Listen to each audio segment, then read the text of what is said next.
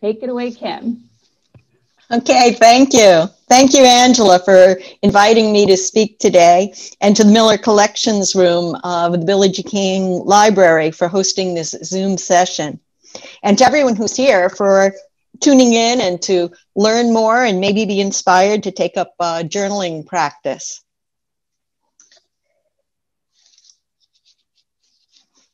Uh, Angela gave in the introduction a little bit about me that I'm a naturalist, a photographer, and an artist. And as a naturalist, having taken some classes, what I do, some of the activities I participate in are, uh, are wildlife surveys. Uh, for about five years until the last year before COVID, I was doing butterfly surveys and um, night uh, insect surveys with the Irvine Ranch Conservancy, uh, going out and counting the butterflies and uh, recording the butterflies and also the uh, flowering plants to help them in their restoration efforts. Uh, I also did some surveys with the Lorquin Entomological Society. We got invited to Tejon Ranch to do some surveys and to document the insects that they have on the ranch also that was a, a, a, great time. We did that for about four or five years. I also did an insect survey at the um, El Dorado Nature Center. And I do bird surveys. I'm still doing those with Sea and Sage Audubon uh, at our local Los Cerritos wetlands. Uh, I'm also a photographer, mostly a nature photographer, and this is where I probably spend the largest portion of my time going out on uh, walks and photographing whatever nature I see, trying to capture some of the interesting behaviors of our local uh, flora and fauna. I use these in some citizen science projects, such on iNaturalist and uh, eBird, and I documenting what I see. Uh, as an artist, I do some artwork. I've taken some botanical illustration classes. I've taken some other mixed media workshops and, and some journaling workshops too, some excellent uh, workshops. And I enjoy a lot of color in my artwork, and usually with a nature theme, um, but also of my own muse at home, my kitty cats. Um, and I'm also a journaler. I create journals. Journaling is a nice supplement to uh, doing photography and also as a naturalist. It, it, it causes me to look a little bit more closely. And that's what I'm going to talk about today is how you can do some uh, journaling too, which is writing in your journal. So what is nature journaling? Uh, it's I, I, hope to inspire you today and give you some tools and things that you can take up a practice of nature journaling on your own. I've called it nature journaling. It's not about the journal. It's about the process of journaling, the verb, to, to take in nature, take what you see, smell, hear, and feel about nature, processing it and thinking about it, and then writing it down on paper. And it's that whole complete cycle that completes the, um, the process of nature journaling. Putting it on paper really is part of the key. So often you see something and you say, oh, I, I, I, I will remember that. It's the physical writing it down that actually causes you to remember it more so than just seeing it and thinking you're going to remember. Not even if you look back at the page, but just having gone through that mechanical process. Scientific illustration uh, is something that has been used for, for, for a very long time and is still used. It's accurately representing something in nature, but that's not journaling. That's a process that can be used in your journals, but you don't have to be a scientific illustrator in order to be a nature journaler. Uh, themes of nature have been used in art, and I particularly use Asian art examples here because the Miller Room I know has an extensive Asian art collection. Uh, but art is not journaling. Uh, there are artist journals, but but for nature journaling, you can use artwork in your journal, but that alone is not journaling. Poetry and prose have been inspired by nature. I include one poet here, Ogden Nash, who I've always liked since I was a child, who wrote silly little uh, poems. One of them is uh, Behold the pelican, his beak can hold more than his belly can. And he had a number of those. And you can use po- uh, prose and poetry in your journals.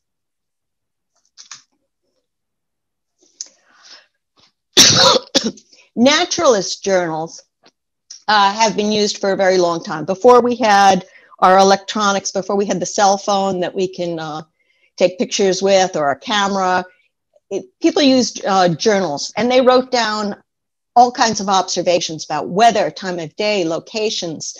Uh, in the field, they would talk about the routes that they covered, the vegetation. This is a page from, one page from Charles Darwin's uh, journal. And you can see it has a little bit of illustration and a lot of writing on it. And I can't make it out, but he used this for himself. And that's what the journals were for, for capturing information while you were in the field.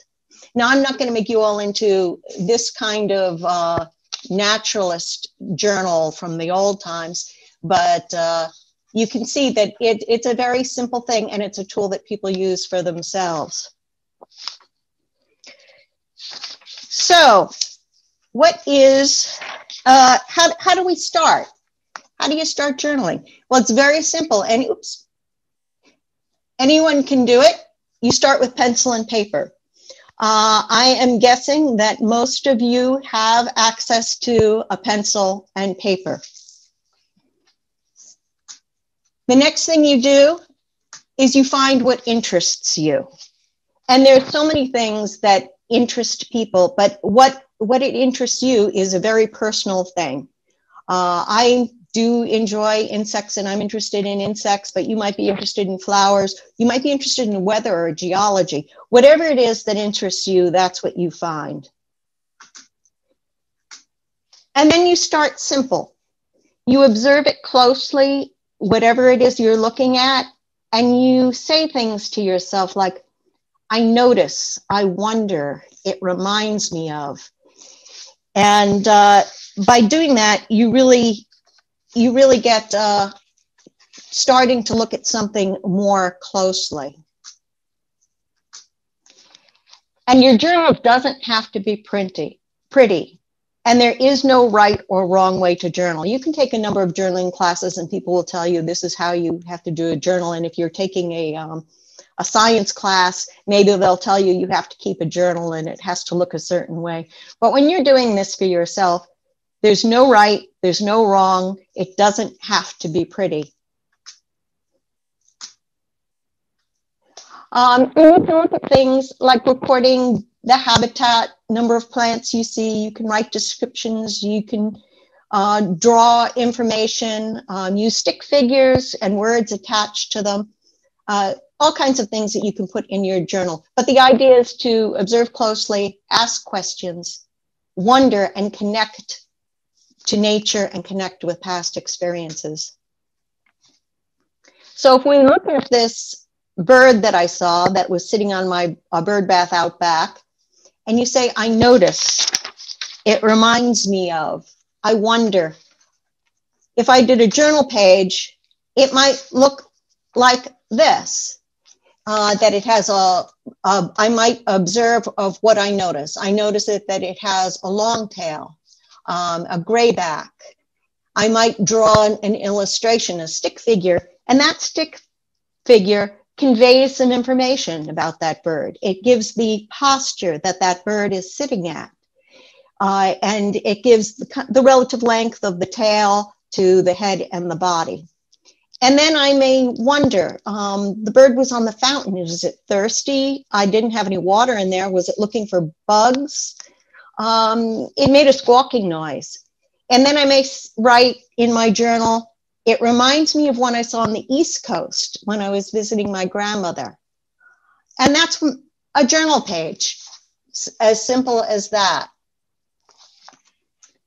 I always like this, this quote by Albert Einstein, which says, Look deep into nature, and then you will understand everything better. And by looking deeply, um, that's that's what really does it. It's it's it's taking you out of your day to day and looking and connecting. But remember, it's the process, and you can do it with any level of skill. You can do it alone. You can do it with others, uh, and skill follows. So we're going to do a journal page right now, and you all are going to help me. Uh, we're sitting in the park and we see a squirrel, and many of you have probably seen squirrels before. Uh, I put down the date, today's date, and we're going to say that we're in Sure Park over here, and it's. I put down the weather that it's sunny and uh, that it's warm. Now I'm going to ask you to open up a chat session. If you know how to open up a chat session, and type into the chat something that you notice. Look deeply at the squirrel and um, anything else in the picture, and type into the chat something that you notice. Okay, everyone, so go ahead and click on the chat button at the bottom of your screen if you'd like to participate and just enter any comments that you have about the photo. What do you notice? And then Kim, you just let me know when you're ready. Well, when you're when you see some answers coming in, if you want to pick a few. Okay. So Matt is saying, um, well, he's wondering what it's holding. Okay, he's wondering what it's holding. So I'll put that under I wonder. Okay. What is it holding? Okay. Okay. All right. And then we have Monica. I notice it seems to be eating something. Notice it is eating something. Okay. And we have Tracy commenting its tail is like a mohawk from the tailbone to the base of its skull in this picture, in this posture. Its tail is like a mohawk. I can put it here or I could put it under, it reminds me of um, mo, mohawk. I'm not going to write out the full thing, but okay. Okay. Shelly says she notices a squirrel with a seed pod. And the arch of the squirrel's tail is in line with the shape of the seed pod. Oh, yeah, it kind of curves like the seed pod in the same way, along with its back. Interesting in the all those shapes are kind of co-aligning with one another. Oh, okay, and now put in what you're wondering. Okay.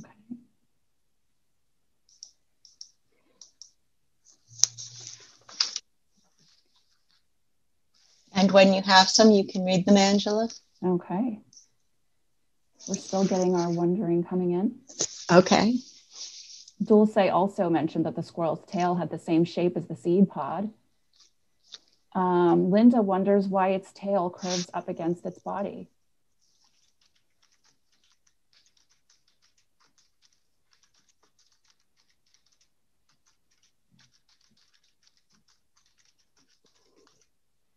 Betty says, I wonder how it holds without a thumb.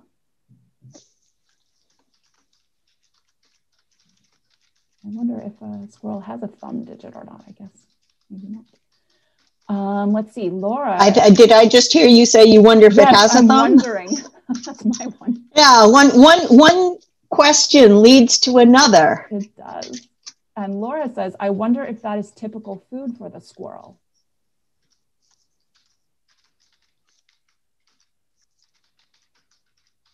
and Tracy wonders if the weather is cool. Maybe because of oh.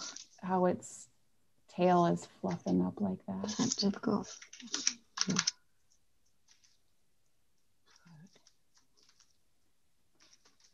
And Karen is wondering what time of day is it? It looks like the sun is on the squirrel. Oh, okay. Is the tail a response to cold, I think you said? And what time of day it looks like the sun? It's great. This starts bringing up so many different questions. And that's the idea is to start being curious.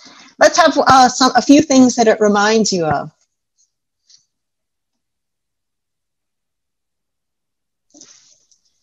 Okay. Go ahead and enter a few thoughts in the chat. Tracy says it reminds me of sitting with co- with her coffee. her own tasty little treat. Um, Shelly, it reminds me of a park I played in as a child.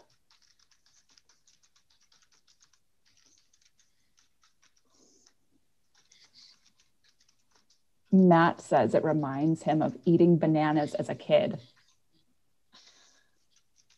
The shape of that seed pod is certainly like a bananas. Oh, Dulce, it reminds me of fall.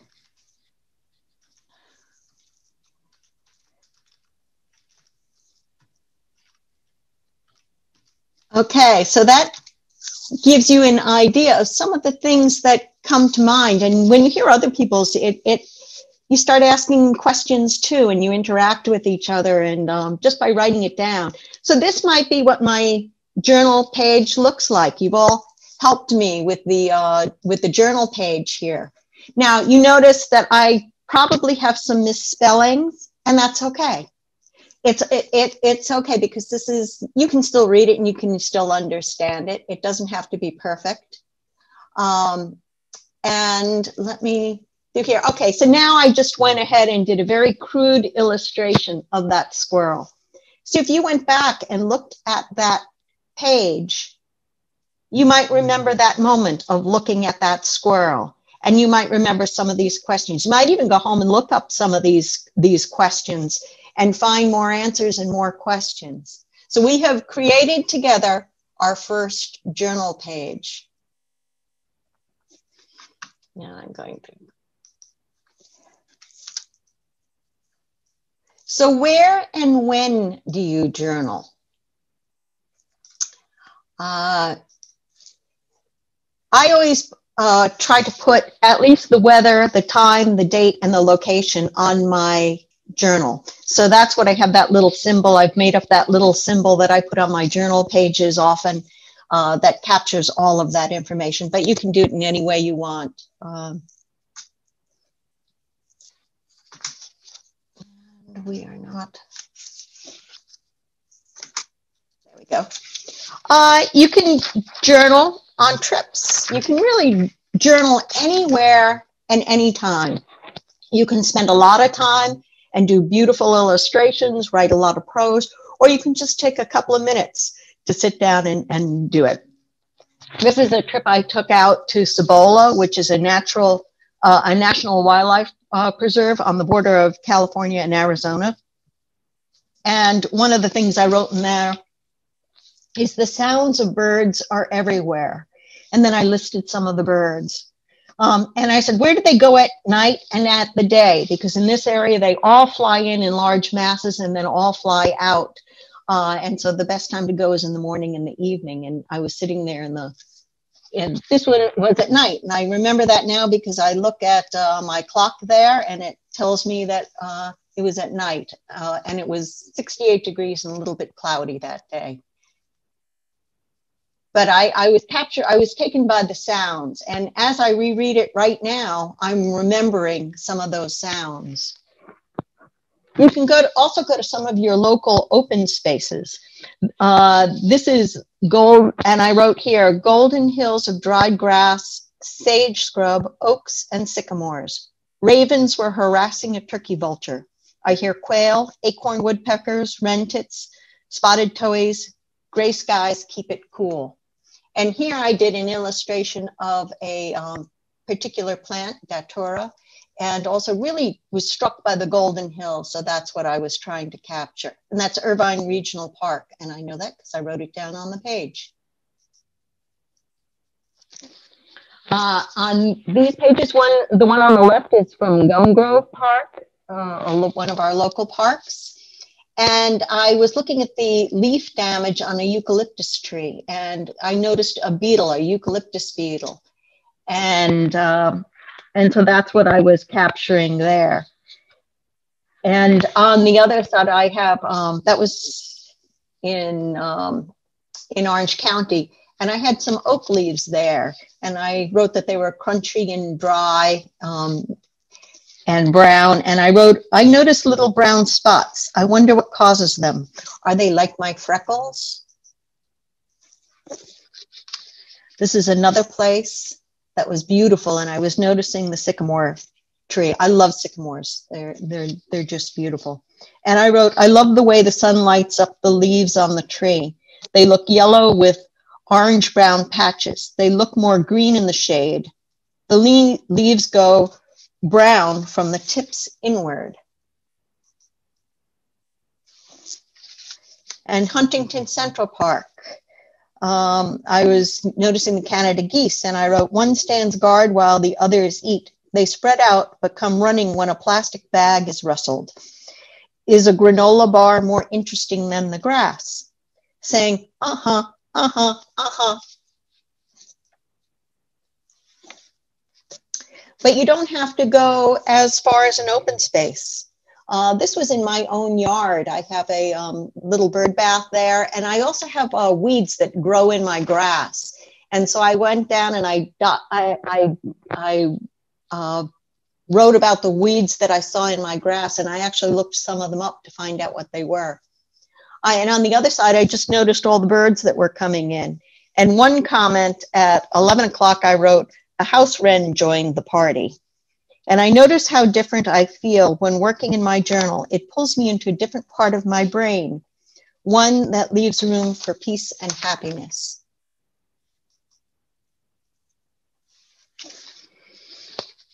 Here I um, was in, I had some buckwheat in my yard, and I uh, started to draw the buckwheat. And I was noticing in detail how the leaves spiraled around the plant. And that's on the left from my journal. But then I, I was so interested in it, I decided to turn that into a separate piece of artwork. So I used my journal to really study the plant, but then I went and did a colored pencil illustration of it separately, which took a lot more time. Uh, this past Christmas in my house. You can you can always use books or photos to do illustrations or observations from, but I prefer to work on something live. Uh, a friend of mine gave me an amaryllis bulb uh, for uh, Christmas, and so before I planted it into the pot, I decided to study it and look at it. And so in my journal, I did a, uh, a an illustration. One nice thing about doing something at home at a desk is a, you're a little bit more comfortable and you have a lot more tools that you can play with. So here I was playing with a whole set of colored pencils. Um, but when I was looking at the amaryllis, I turned it from side to side to look at it, and I was noticing all the dead parts on it. And I noticed how much it looked like an onion. And I don't know I, that I ever thought about that before. Uh, when getting an amaryllis, you, I always think, oh, this is going to be great with those big, beautiful red flowers but I don't think of the bulb and think of it as an onion. And so it got me wondering. And so then I looked around and I found something um, about it and found out that it is in the onion family. Okay, I was when when preparing for this, I was speaking to Angela, and she was talking that you know there are some people who do not have a yard, and I'm very fortunate that I have a yard, or may not have access to um, open spaces. So I, after that, I did a 15 minute exercise. I went around inside my house and spent time looking for what could I find nature inside my own house. And so I had a tiny spider uh, in the corner, and I said, "What does it find to eat here?" And then I looked at patterns of the wood on the furniture and on the floor. And I was looking at them and, and, asking, what is the significance of the patterns? How and why did the tree grow that way? I found dust. I have a lot of that in my house. Um, and noticed that it gets thicker in some places. And I was thinking about how the air current moves around the house. Um, sometimes you can see it in the air when the light is shining through it. I had a bouquet of tulips I had in the house. And so I looked at that and I was looking at the colors and studied that carefully. I had my uh, lazy cat sleeping and it turned only one ear to listen to me. Um, the kitchen has got tons of stuff from nature that you can look at. And I found uh, a, a, an avocado and I wondered, why does it have lumpy skin? And how does it uh, ripen when it's off the tree? How does that work? Um, and of course, there's always a lot of people have wine. I, I'm not, I don't drink, but my husband occasionally has a glass. And so, even looking at a glass of wine, I started having curiosity and thinking about how does the fermentation process work? So there's all kinds of things that you can find if you have curiosity. Okay, so I've talked about a little bit about the journal and what you might put in the journal. And you can see some of my journals have illustrations in them because I do like color and I do like a little bit of artwork. Um, but you have to start with paper. You can start with a plain sheet of paper. I have a plain sheet of paper in front of me. I can you can just pick up any sheet of paper and any pencil and do it. But if you want to get a little fancier, you can create a journal. And journals come in all different sizes and they come with different types of paper. Uh, and they all work. It just you work on them a little bit differently. The one I have a very small pocket one, which I like to carry because if you don't have it with you, you won't use it. And so having a small one that you can carry is easy. Uh, sometimes I like a larger size.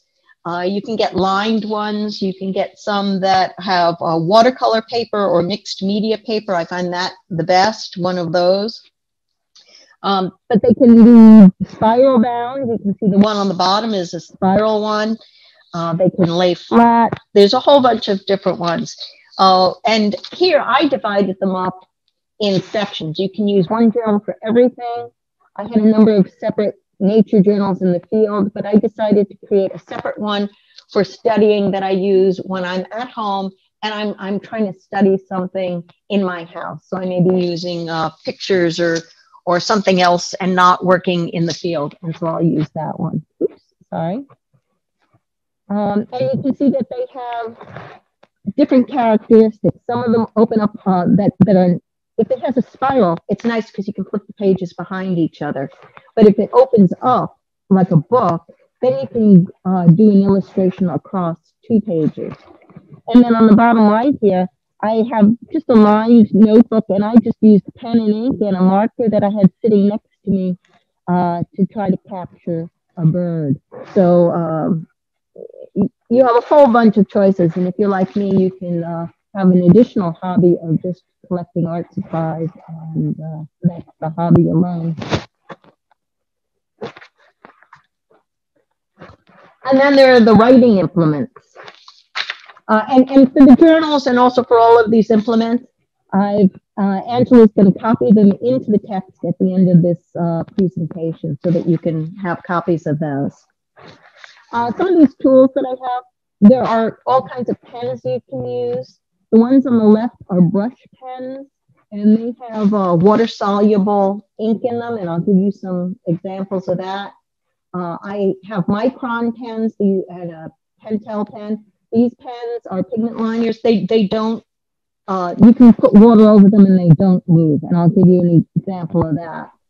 Um, okay. Um, you can use pencils you, oh, so sorry to interrupt. We're just having a little trouble. We have some patrons who are saying that your voice, your audio isn't very clear. So I don't know if maybe sitting a little closer, I don't know if it makes any difference, but you're kind okay. of your your audio is going in and out a little bit. Oh, maybe that's it. Okay. Okay. Thank there you. Oh, you sound good now. Maybe it was getting covered up. Okay. Okay. I will Perfect. try thank to do. Th- th- thank you for that feedback. Uh, The uh, pencils also, you can use a pencil with an eraser on it, but if you're in the field, you don't want to have to sharpen it. So using a um, mechanical pencil is good for in the field because you just press on it to get more lead. To the right of that, I have some brushes that are water brushes. The, the uh, blue plastic contains water inside, so you just squeeze it to pump water onto your brush, and you can use that for art supplies. And then you have the um, a white pigment pen and a ballpoint pen and countless other tools that you can use. So ink, I talked about two kinds of ink. The one on the left, you put it down, you could put water on top of it, and it will not move. Whatever line you draw stays there. The one on the right, I drew lines, and then I used that water brush to push around the ink so that you can use that to uh, actually create shading. It's just a different technique. But I like to add color uh, on the right, I've got some colored pencils that I can use if I'm in the field uh, or at home. I can use colored pencils. You can use crayons, uh, markers, pencil. On the left, you can see I made myself a little watercolor kit. And what that is, is I bought those little separate pans. You can get those at an art supply store. And I uh, put um, ink, uh, watercolor from tubes into them. And the can is actually an Altoids tin that I glued onto a watch strap. And then I have a, a half cut sock around my arm to wipe my brush on. And there's my Altoid watercolor kit that I that I made in my dirty watercolor sock. Uh, and you can get little pans of watercolors uh, and you can use colored pencils. There are actually watercolored colored pencils. So you can draw with them and then use that water brush to move around the, um, the, the color on your page. And, uh, or you can use tubes like I did there. Uh, you, since you have to have water with watercolor, that's why those little uh, brushes are great because then you don't have to carry a lot of water into the field. So here are examples where I've used a pigment liner pen, where I've drawn an illustration in ink, and then I filled in some watercolor. And I, I like that technique. That's personal, um, one that I like. But sometimes color is the subject. Uh, and in the top picture, I went on a whale watching trip and I brought my book with me but the, we didn't see whales. But uh, I noticed that the color of the sky was changing. So I just captured the changing of the color of the sky as the day went on. Uh, on the bottom, uh, it, on a right side, I was on a trip to the Sierras and I just captured some of the colors of the wildflowers that were in the field. I drew one wildflower, but all the others, I just captured the colors. And that became the subject of what I was looking at. So the other thing you need is gear, uh, which can get cumbersome when you go into the field. There I have a complete set of uh, carrying a folding chair, a camera, uh, a pad, water, and supplies. So the, the idea is to carry your stuff in a smaller container or whatever you can use that's going to make it comfortable to take with you. Uh, that little pouch on the left is what I normally use. It contains my uh, little watercolor kit and my pens, and then I take a pad and I'm ready to go if I'm going locally. But one of the other important things is who are you going to be doing this with? You can either do it by yourself or you can go into the field with friends.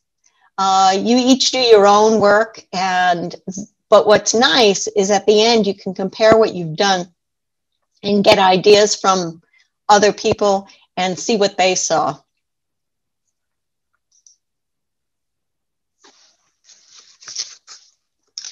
So why journal? Why, why, why do this? Why go to this, to this effort? And you do it for uh, deliberate attention and it really focuses your attention. Actually, I just saw on Facebook where I see a lot of things, as we, I'm sure we all do, something that said uh, disconnect from Wi-Fi and get better connected to nature. Uh, you mm-hmm. learn and you appreciate just in that little exercise we did. You start thinking and you start having, um, you start developing your curiosity and developing your observation skills. And it's also something you can do to go on adventures. It takes you to new places. You say, you know, I want to um, look at the beach and journal there. I want to go to the uh, to a park. So it gets you out and gets you going. There's something that I heard a few years ago that I really liked, and that was called forest bathing. And that's a practice of immersing yourself in nature in a mindful way and using your senses wholly. Uh, and, it, and it's to derive benefits mental, physical, emotional. And uh, this term was developed, uh, I guess Shinrin means forest and Yoko um, means bathing. Uh, I pardon my translation and pronunciation. But the idea came about in Japan in the 1980s. And it's been a, a tool for overcoming a lot of illnesses and the effects of a hectic life and a stressful environment. Uh, here, I, we call it forest bathing, but I talk, talk about it as nature bathing anytime you go out and you look at nature. There's also a, um, a couple that circumnavigated the world seven times with different crews. And one of the people who was interviewed, and I'm, I'm paraphrasing now, said, Well, I don't have time at, um, to take out of my life to, to do that. And what Irving Johnson uh, said to him is, It's not time out of your life, it's time in your life. So this is time you're spending in your life in a very productive way.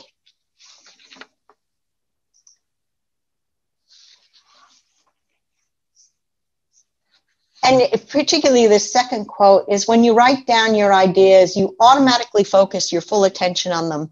Few, if any of us, can write one thought and think another at the same time. Thus, a pencil and paper make excellent concentration tools. And why I think about it, and particularly some of the stresses of the past year, when I've had my pencil and paper out and I am asking these kinds of questions and I'm observing nature, I I really uh, am pulled away from the the day to day worries and struggles, and it just takes you into a whole nother place, and it and it's really an excellent benefit. So, what is nature journaling? It's not just looking at nature and seeing it. It's not just experiencing it, although that's great. Um, it's not just thinking about it it's the writing it on the paper that completes that process.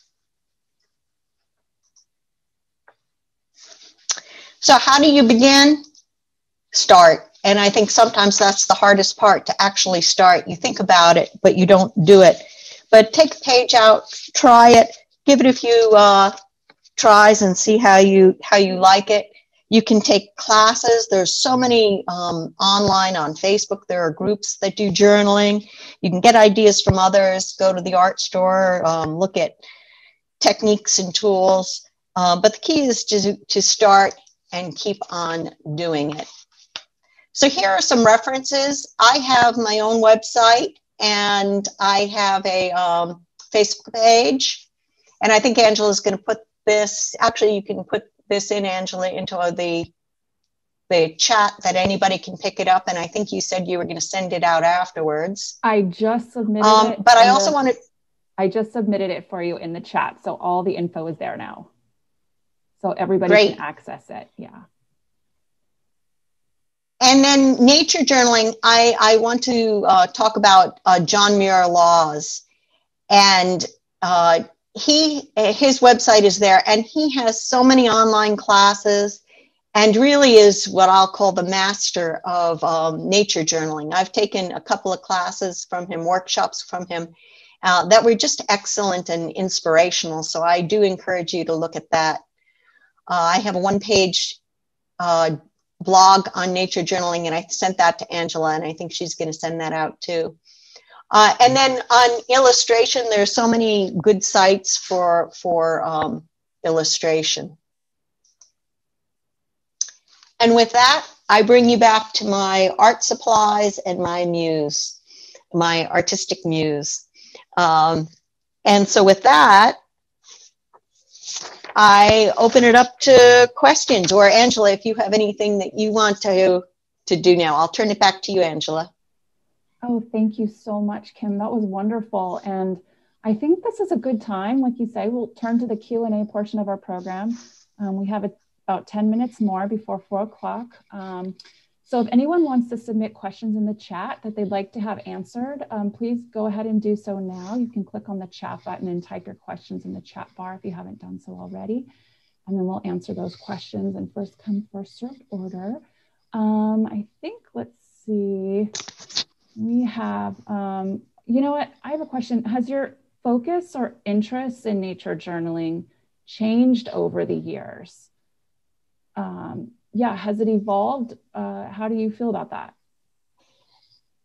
Uh, yes. Uh, sometimes I, I would take a, a, a workshop and I would do it very intently for a while. And then I would put it aside for a while and pick it up again. Uh, sometimes I would be focusing more on a particular area, um, like botanical um, subjects, and then other times I would focus, be a little bit more general. Uh, so I, it, it, moves over time. It's not a, a, a constant same level of practice. And I think that's one of the things that's nice about it. When I talk about it being for yourself, it's whatever moves you and how you want to move with it. Okay, we have an, uh, just a fun question from Tracy. She said, excellent presentation and beautiful journals. But she wonders, what are your muses' names?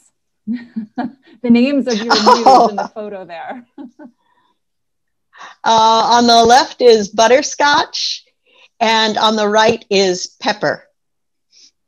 Oh, so cute. And they're they're good um, subjects. It looks like they'll sit still and look at you for a while so you can capture their image. oh, yes. Um, yes. Um, and chew on your pens and uh, push things off your desk. so we have a question from William who wants to know if you know anything about this with your naturalist background, what's the current situation of the monarch butterfly count? Do you know anything about oh. the butterfly situation? I know a little bit about it, and I know that the monarch counts on the West Coast have really plummeted. Um, they have plummeted lately, and certainly the other ones in the on the other side of the Rockies that migrate down to Mexico, they had uh, plummeted also. They had gotten a lot of attention. I don't think the West Coast got as much, and I can't think of the the term for it but they were deemed as as a, a, a threatened. I, I, I don't know the exact term for it. Um, threatened uh, species, but they were not getting as much attention right now because of some other higher needs. Um, but that but that ha- those counts have really gone down, and I know there's a lot of discussion online about um, the uh, tropical milkweed versus native uh, milkweeds, and in the tropical uh, milkweeds, if you plant them, it's suggested that you cut them down from October through uh, February so that they don't transmit a virus that has been infecting the, the monarchs. But we could have a whole nother discussion on, on monarchs. Oh, um, well, Monica wanted to say your presentation has been a wonderful and welcoming introduction to nature journaling and really appreciates it. Um, do you feel that this practice contributes to your scientific understanding in any way? Sounds like it does. A- absolutely. Absolutely. I, I look a lot closer. And even if I'm not writing it in my journal, I do think about it even when taking photographs. When I take a photograph of something, I'm observing more closely uh, and I'm observing behaviors more closely. I also write a monthly blog um, about some of my photos and some of my observations. And so sometimes that, that, that same process has, really, really complements all of those other things. Okay, all right. Um, let's see. Lots of feedback. Thank you so much. Great presentation. You've inspired people to give it a go. Um, William oh, has a question. Um, do you recommend using the plastic coated picture like birds, butterfly, field guides? I guess there are some of those plastic coated like fold out field guides. Is that what you mean, William? Um, like the brochures, trifold brochures, and other things like that. I know it's great for ID when you're in the field. Is that what you mean, William? Go ahead. Uh, I'm not. I'm not sure what the the focus of the um, question is because there's a whole lot of ways to answer that. Uh, if you want to study those pictures, that's great. If you're talking about the use of plastic, um, you know, plastics not being environmentally friendly, that's a whole nother another aspect and topic.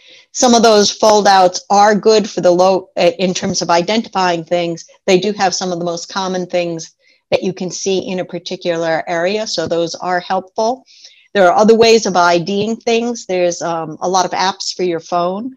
and then you don't need a plastic guide. Um, so I can't give a specific answer as are they they good. Um, I hopefully hopefully that touched on some of it.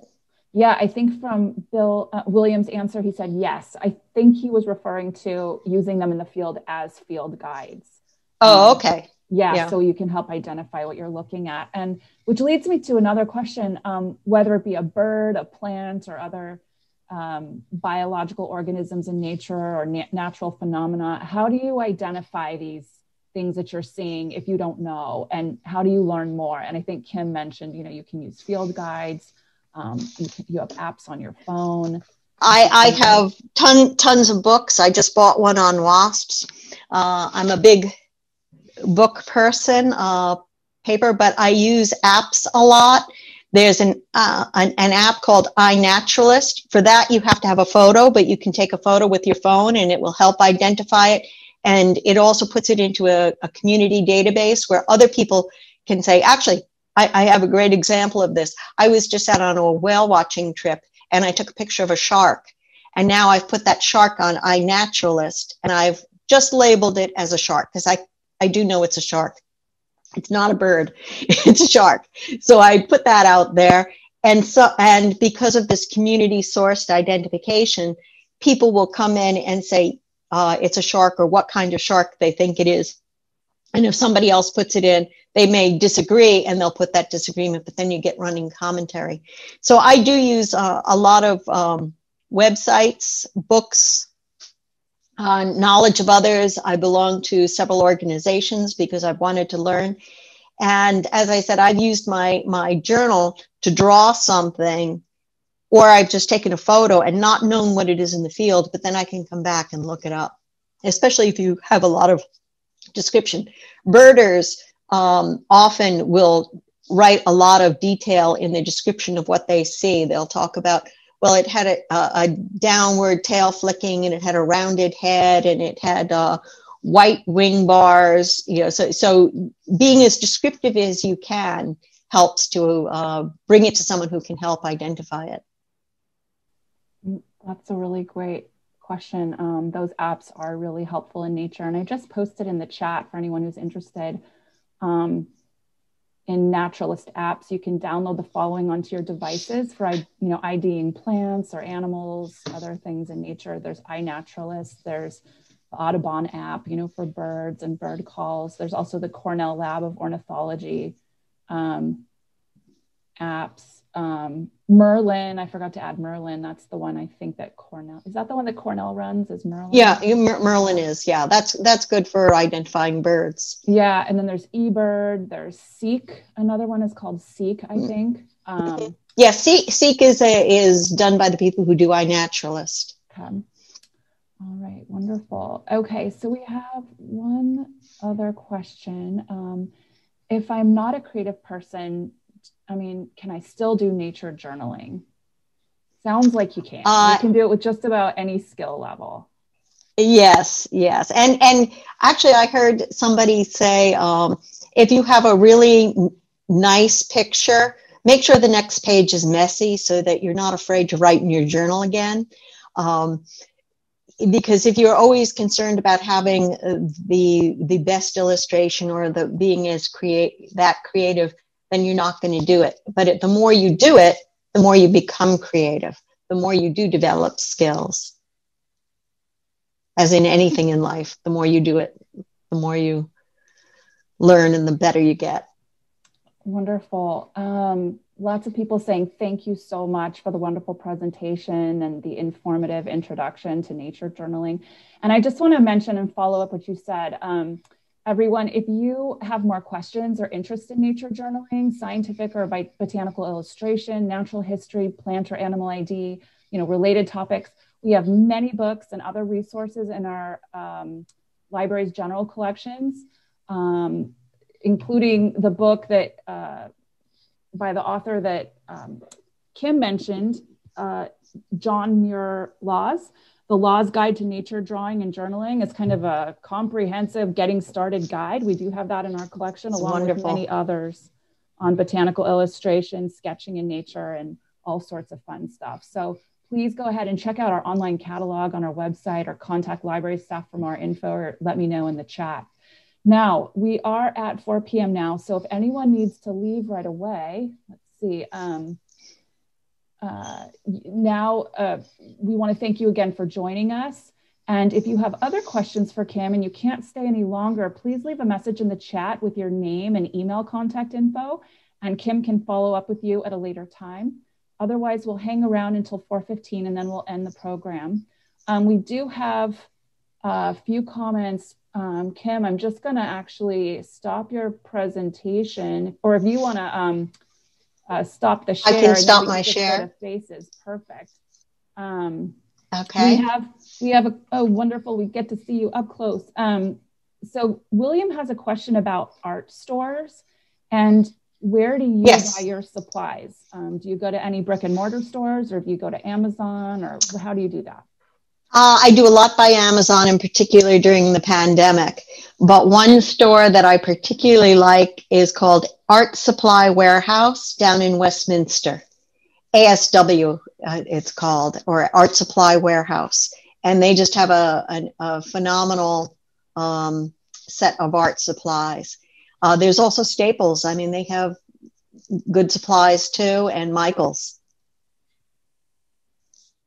Okay, wonderful. And um, Laura said, Thank you, Kim, for the lovely presentation. And she mentioned that um, uh, John Muir Laws also has dozens of videos to watch on nature journaling too on his on his yes. website if you want tips and techniques and um, how to draw different types of birds especially he's in he loves birds he loves all sorts of things and it's a wonderful website and you can sign up on his email list in fact um, and, and he'll send out his email updates to you with uh, his programs that are coming, and they're all free, which is the wonderful thing. They're free unless you want to make a donation to his, you know, to support his programming. So that's a wonderful resource. I, I highly rec- I highly recommend uh, looking at his stuff, and you'll get a lot more in depth than I can give you in 30 minutes here.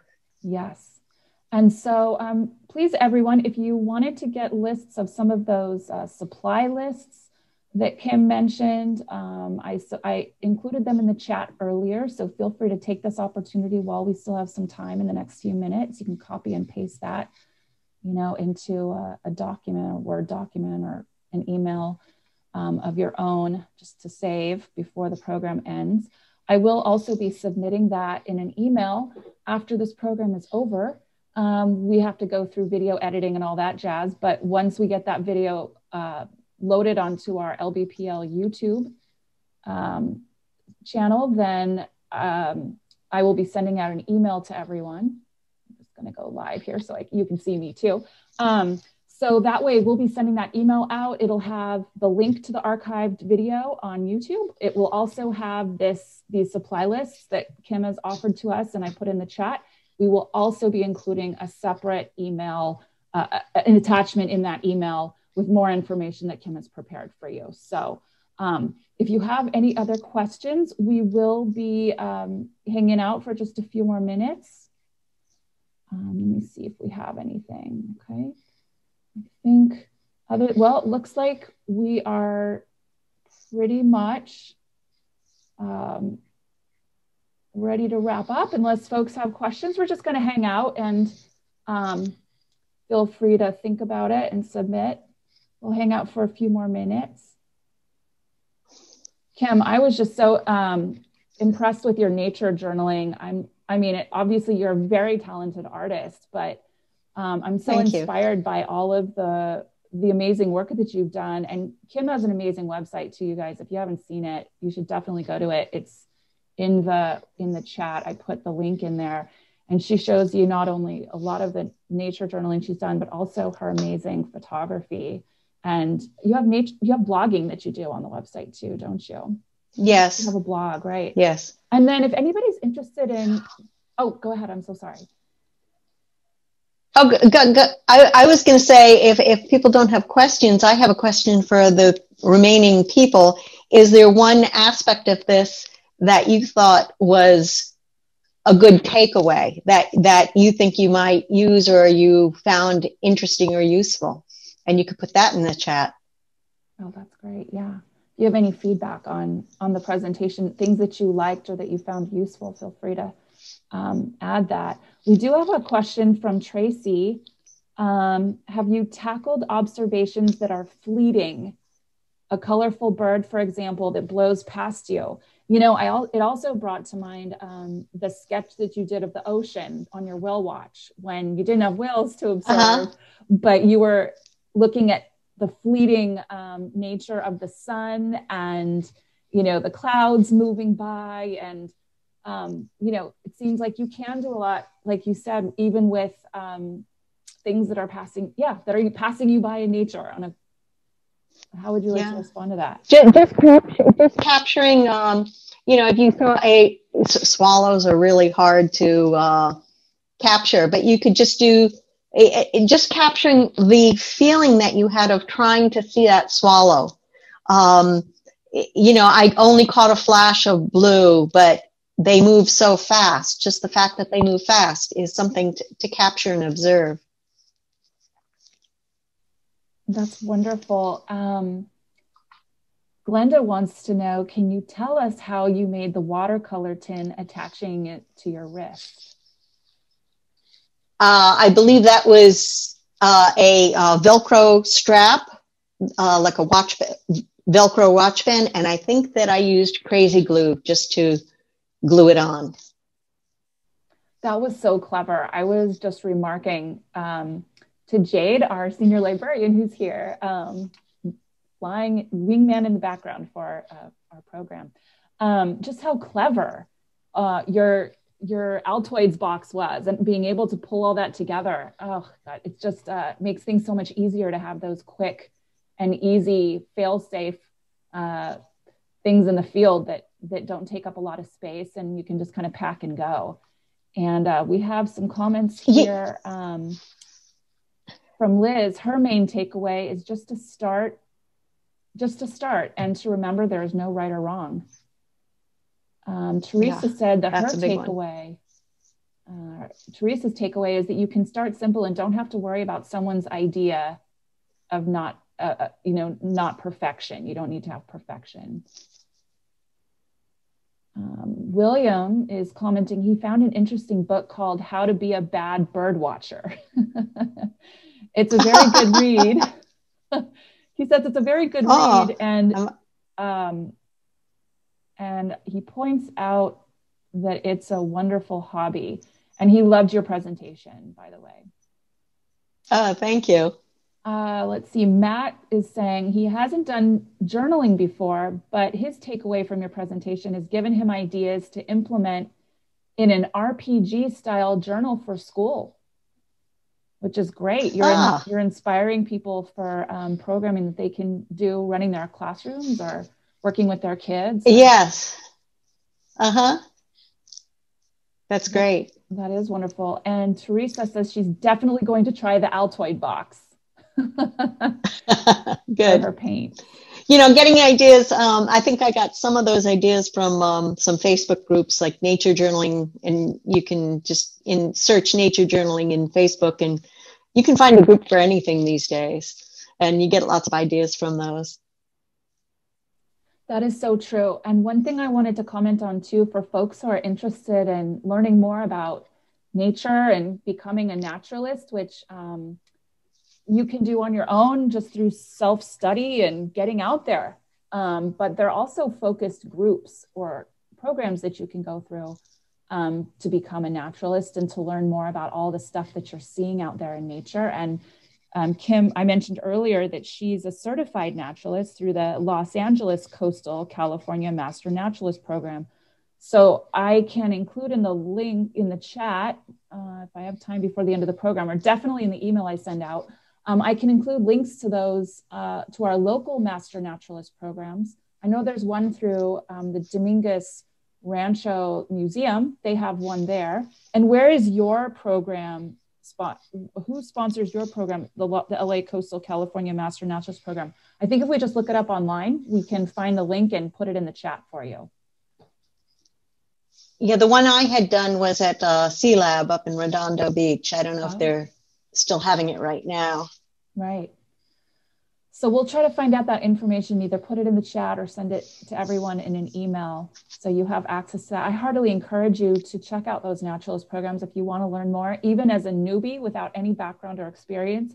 That's what they're intended for. They're intended for people at all skill levels and they start you at the beginning and work your way through.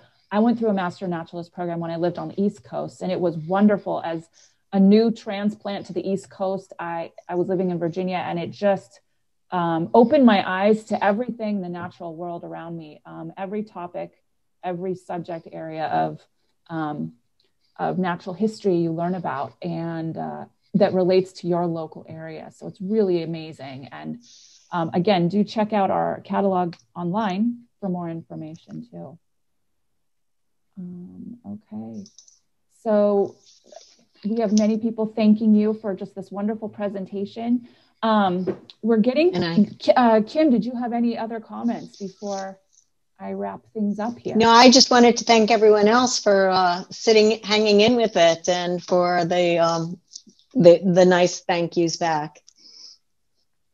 Okay, well, we're getting pretty close to 415, everyone. We're going to wrap up our program here, but I'd like to thank you, Kim, for your time and your generous support of the educational enrichment of our Long Beach Public Library community and people from much further afield, with this being uh, hosted on Eventbrite, that's national. So we have may have people joining us from all over the country, for all I know, even out of the country. Um, and I'd also like to thank all of our guests who joined us today for this Art of Nature lecture series program. We thank you so much for your support and for following us. I'd also like to thank our library administration and staff, friends of the library, our LBPL Foundation, many other local contacts for helping to promote our event. So our sincerest thanks and appreciation to all of you. Have a wonderful evening, everyone. Stay safe and healthy, and we look forward to seeing you again soon for more upcoming programs with the Miller Room and the Long Beach Public Library. Thanks again, and good evening, everyone.